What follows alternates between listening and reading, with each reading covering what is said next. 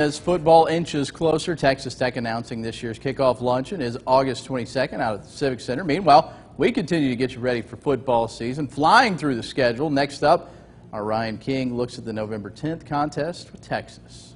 Senior Day 2018, Texas Longhorns coming to Lubbock.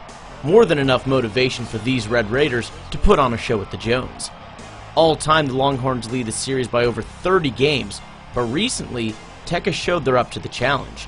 The last two games in Austin have gone Tech's way for the first time in history, including a 27-23 victory in the last regular season game of 2017. But the Red Raiders will be looking to secure their first win over the Longhorns here in Lubbock since 2008. While Texas has not won more than seven games in each of the last four seasons, head coach Tom Herman says his team is ready to turn their recent fortunes around.